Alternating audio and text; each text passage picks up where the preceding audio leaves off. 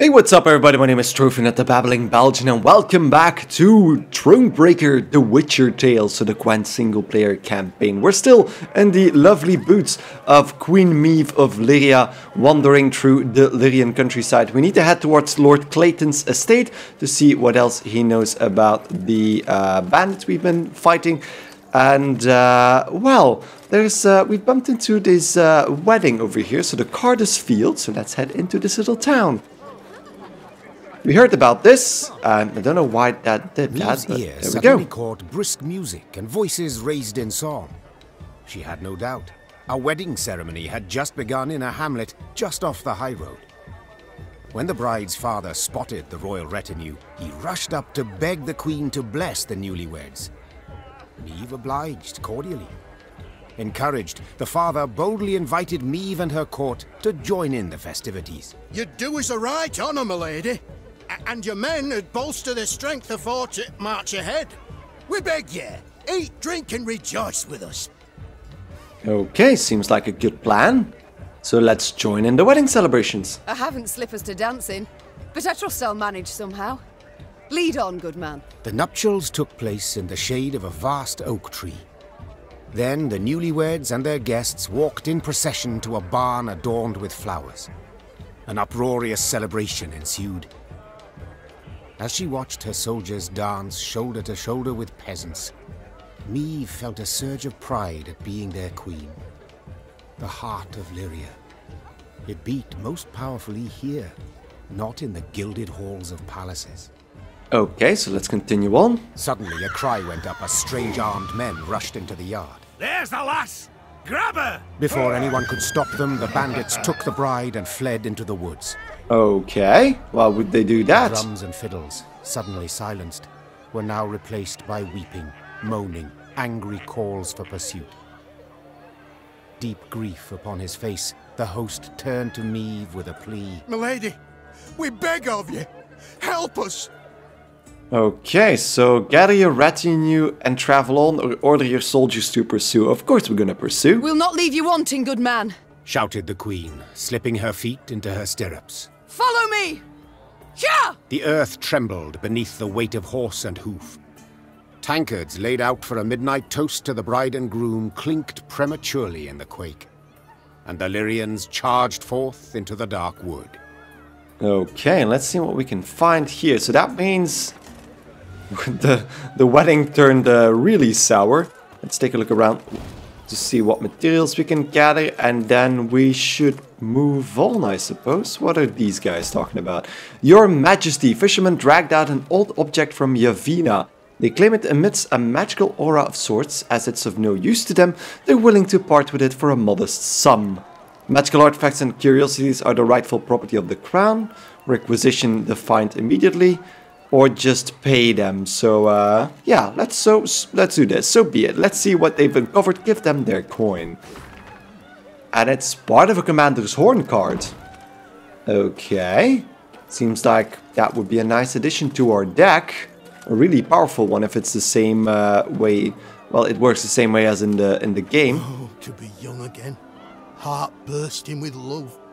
Okay. Oh, to be young Okay. again, Okay. Okay. heart bursting with. Good folk, the Queen's returned. Welcome her we must. Tribute in hand. Okay. Thank you for the wood. Ah, ah, Queen. Why, pretty as a painting she is. Okay, he's a bit uh, much, isn't he? So let's see. So these guys must have run through here. Because there's no real other way. My queen, your subjects are troubled. A cow has given birth to a two-headed calf. An omen for impending war. You can send the priestess of Melitele to dispel it, but not without cost. Hmm. So we can get a bit of morale from that, but I think we're already at max. So I have a better idea. Let's slaughter the calf and return to the road. There we go. Taking care of that without any wins, gains or losses, so happy with that. And this is again the same area we've been to already. This is weird. Let me take a look around if I can find anything. Okay, so there's a shack that's apparently locked, but I can open that up and now we can loot it and we get a bit of gold and a bit of wood. My fluffy sweet bun, my heart aches but I cannot sneak away. So many have arrived in the village it's become impossible to slip away unnoticed. I spun a tale for my nosy aunties to escape even for this briefest of moments. I managed to sneak some silverware under my dress, but I think it best to leave it here for now and return once the hysteria has died. Soon we'll have enough to begin our new life together. I'll watch for you, forever yours. Interesting. B. Is that pointing towards a character we've seen already or not? I'm not sure. Because if that's the bride that just ran off like that, that would be horrible. Oh, oh, there's the bride. Hello. Though the Lyrian cavalrymen had imbibed spirits throughout the night, they not only managed to stay upright in their saddles, but even gained on the bandits and cut off any chance of escape. Okay, and there we go then. Fight ensues. Let's see, so this is, it's special rules with a shortened battle, but we have our normal deck. So the battle was waged in a dense, dark wood, moonbeams, moonbeams scarcely piercing its canopy. Had it not been for the bride's radiant white dress, the Lyrians might not have determined the enemy's position. And so, seeing double, they staggered to battle, the taste of cold vodka still on their lips. So prevent the bandit abductor from reaching the right side of the row. Okay. Interesting. So the battle will only last one round. At the beginning of a round you can redraw up to 6 cards now. Get rid of the cards from your hand that you don't wish to play. Uh, so that might be fine. Boost a unit by 5. So I can only do that once, so let's just replace a few of the scythemen. Let's do that. What can Lord Caldwell do? Play a copy of each adjacent unit from your deck. Fair enough. And then summon all copies of this unit, which is fine. And boost the unit by 10. I don't think I will have much use for boosting. Probably more for damaging. So let's get rid of the Fortitude Tonic. And get rid of the War Wagon. Yeah, that seems fine. Although I could remove the Lyrian Scytheman as well. Hmm, let's do that. Stop them! Okay, so we need to destroy uh, the the abductor, but he has 25 armor. So every turn on turn start, move one place to the right. Whenever this unit takes damage, move one place to the left. If this unit moves the, to the rightmost side of the row, Meve is defeated. So whenever this unit takes damage, move one place to the left. And then the artifacts are just the huts. Okay, okay. So let's do what? Wait, what's the artifact I have? The Lyrian Banner Permanent Resilience. When Meve uses her ability, reduce her cooldown by one. Move to the other row. So let's use the pikeman first. Pays late. Again. And let's end the turn. Because I don't want to damage it while it's moving. Yeah, yeah! And these guys mark a unit every turn on turn start, damage it by one. When the marked unit is destroyed, mark another random enemy. Fair enough. So let's start doing this and put the Wagenburg down. Because I can order it to do some damage later on. So there we go. He's gonna start attacking my units. Catch 'em all! And then the Wagenburg has been targeted as well. Okay. Then next up, I think I should play the Regiment Drummer. Just to have that order going. Right, left, right. I need to start boosting as well. So boost an ally by 4 then give it 1 armor. So let's do that on the Wagenburg. There we go. So that's 1 armor extra and let's end the turn. Is he gonna Watch just keep heads. set a row on fire? They flee. We must stop them. Okay. So when Meve uses her ability, reduce her cooldown by one. Should have done that sooner, probably. But let's start attacking with the our first arbalests. So if I can do that, Give me a target. he moves to the left. So that's four uh, over there. And then damage all units on an enemy row by this unit's armor amount. Then lose all armor. I'm gonna lose armor every time anyway, so let's just damage the row, I suppose. There we go.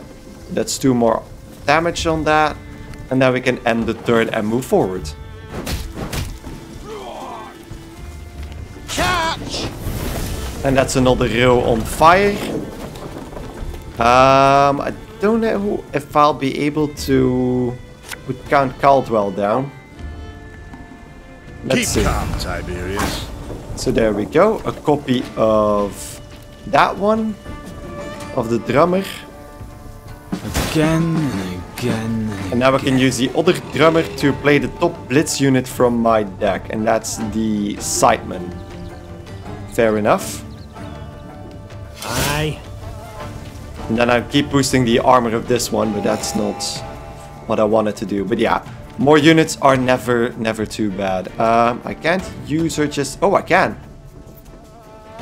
Um, I can heal up this guy.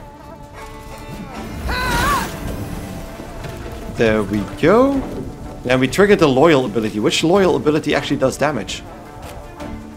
Loyal, damage a random enemy nearest to self by 2. Oh, that is interesting. Did miss that, but that's gonna be interesting if I start putting down arbalests now. The chase is on! So another marked unit, which is not that bad. Now I can actually use the top blitz unit from my deck.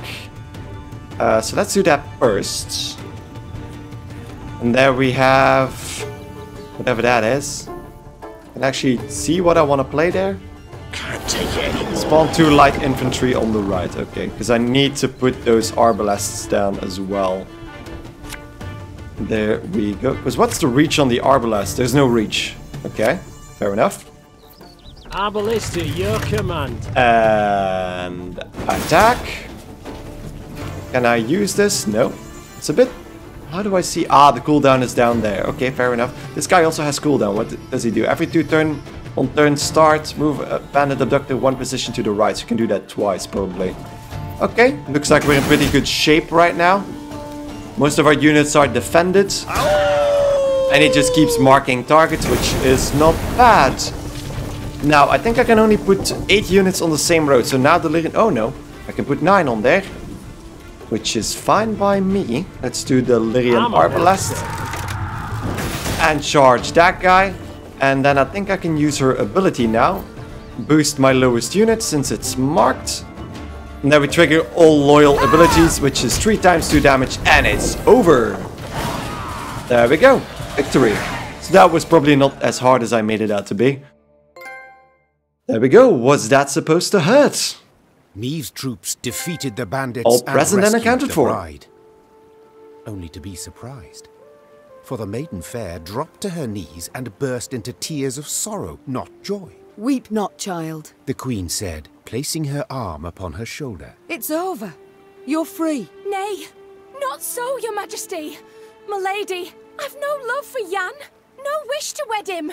It's my father. My family forced me. My heart's Fimbers. He arranged the masquerade. I beg ye, if you've one ounce of kindness, if you've a heart, let us leave this place together and free. Oh, that is, uh, well, not such a big turn of events. So that means the letter we found is from her. From her. Interesting. So give the lovers leave to flee or send the girl home. I must think about my reward, of course. I mean, if it's just a moral decision, yes, we should give the lovers leave to flee. But I feel like the reward would be better if I sent the girl home. Um, since the village will be very happy. Um, and I think I'm gonna go for that. People are gonna hate me for this, oh, but I've there a we go. heart. Answered the queen. Yet I've also a head with which to reason. Your beloved spilled blood this day. A grave crime. He shall answer for it. While you, my dear, must go home. Upon spotting the queen returning with the bride, the revelers ran out to meet them. Not wishing to rile the crowd, Meve revealed the truth of the matter solely to the newlyweds' families. They, in turn, annulled the freshly made union and, in gratitude for her aid, gave the queen all the gifts the guests had brought. Oh, so that was, I think, the correct decision because they annulled the freshly made union. So, She didn't need to actually... Ooh, there goes the morale, by the way. She didn't need to um, marry that man anyway. So this card has been added to your army and can be found in the command tent. Lyrian Merlot. And what does that do? I'll check that out later. So just, just gonna... Ooh, look at that. And I got a lot of money for that. And now we can loot these guys as well. And that actually got us a lot.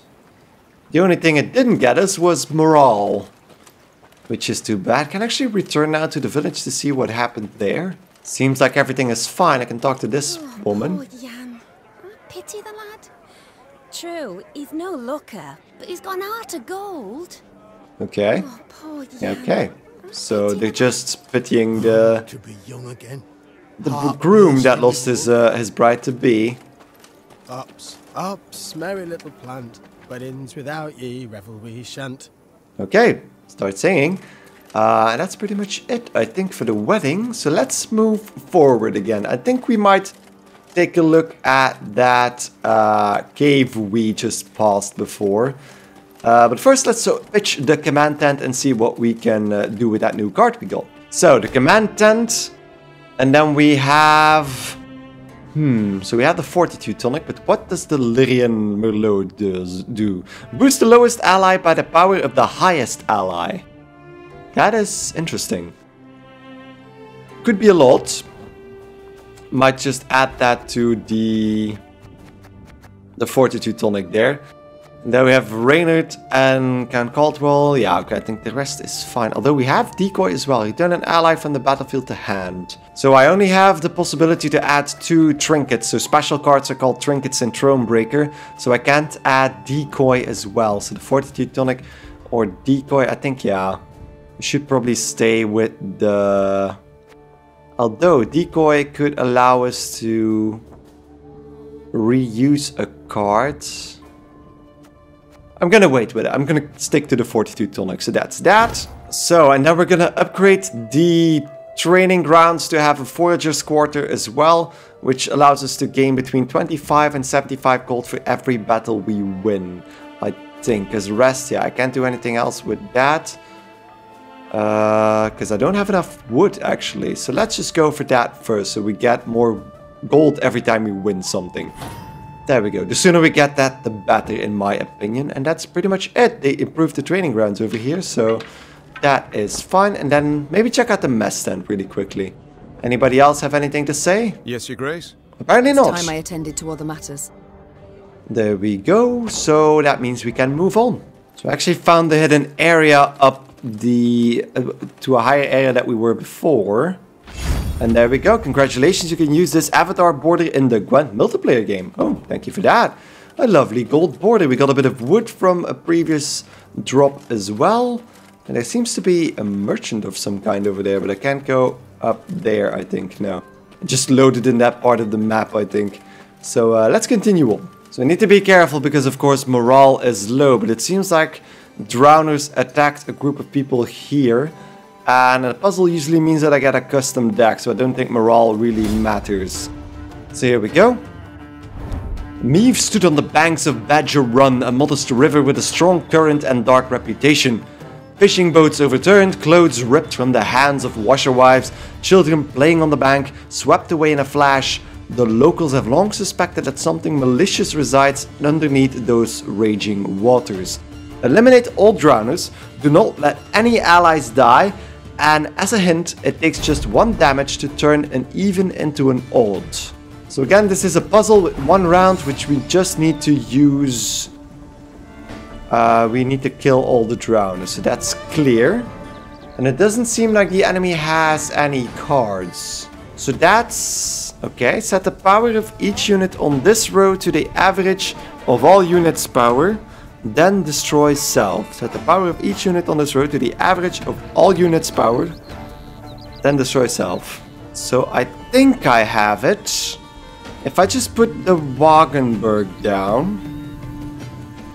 What's the range on use any of these? No, there's no range. Do these actually do something? Every turn on turn start, if this unit's power is even, switch rows and damage all units on the opposite row by two. Okay, so that makes it more complicated. Okay, okay, okay. So every turn on turn start, if this unit's power is even, switch rows and damage all units on the opposite row by 2. If this unit's power is even. So we need to make one or both rows, one or the other row, uneven, both of them. And then we can use the Wagenburg to take care of the rest. But I need to be careful that I don't get my Wagenburg killed or damaged in any way. So I need to put my units down on the row opposite the one that I'm gonna actually use. Switch rows and damage all units on the opposite row by two. Does that mean that it targets the row it's on or the row it will be on? I'm gonna assume that it damages the units on the opposite row, so the row it goes to. So if it goes to the melee row, it's gonna attack the units on the melee row. So, okay, so if we use the Lyrian Arbalest to damage one of the drowners, it will stay on its row. So if you just put it on the um, ranged row I'm a one, and damage the front drowner, we have one drowner that will stay in its place. So there we go. So it moves, it damages the, yeah, it only damages the unit that actually moves back. So let's pull the Lyrian Arbalest back with Decoy and end the turn. It does heal. And now use the Lyrian Arbalest again to damage the front row Drowner. There we go. So now we have two Drowners that stay in place. They will move to the front row and won't damage me. And now, of course, in the next turn, set the power of each unit on this row to the average of all units' power, then destroy itself. What happens if I use that on something that isn't devisable? Well, I guess we'll see. Ah, okay, so now they're all on three. Okay, fair enough. That's exactly how I wanted that to work. So let's end the turn. And now we have the Wagenburg. Damage all units on an enemy row by this unit's armor amount and lose all armor. So we gain one armor every time something appears. So let's just put that down. And end the turn. And then we can actually use the War Wagon to add three more units on the field. And use the Wagenburg to damage that entire row by three. There we go. Okay, that was a bit of a a brain teaser there. That was that was lovely. That was lovely. A bit of calculus, but we got out of there without a hint. So a bit more gold and then a letter. Sun, damned collector stopped by Hawksburn again. And once again we survived by the skin of our teeth, so our beloved queen can import yet another Zerrikanian rug. Devils, take her, I say. Gather anything of worth in the cottage and wrap it greased wrap it up in greased sheepskin, I suppose.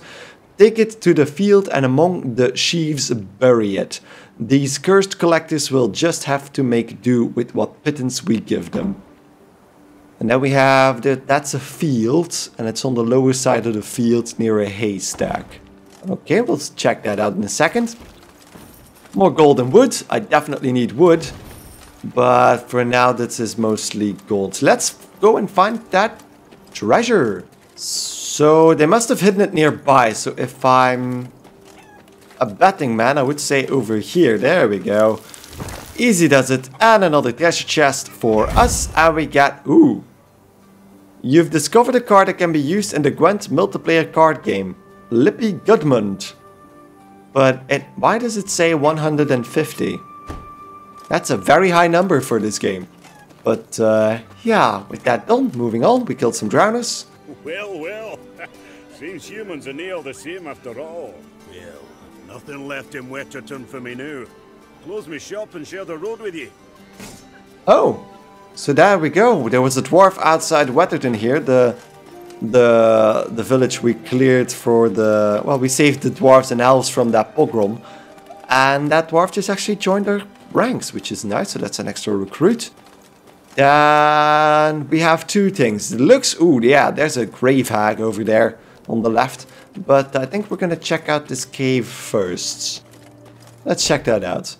My lady, the locals claim a treasure is hidden within the cave. We could send a small detachment to learn what truth there is to the rumor. I must admit, at first glance, it appears rather treacherous. I can't guarantee everyone will return in one piece, if at all. This rumor, we shall put it to the test, of course, because we can get treasure from that. Have the men draw lots, see who among them shall go. There we go, 200 gold for just checking out a cave and losing two men to that cave. I'm sorry about that, but... Um, then I'm assuming we're gonna have to check out that grave hag over there. Is she... We can talk to her. The Lyrians entered the graveyard. Crickets chirped in its tall, windswept grass, and lush green moss covered its crumbling gravestones.